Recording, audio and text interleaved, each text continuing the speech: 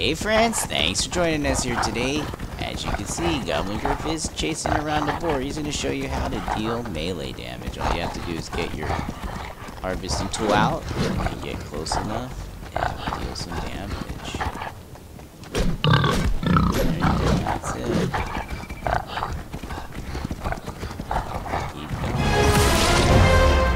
You gotta just do two two hits or so and that's enough to this quest. Alright, now you need to go destroy a dumpster at Lazy Lake and or Pleasant Park. Alright friends, head to those locations. Get ready for our next video.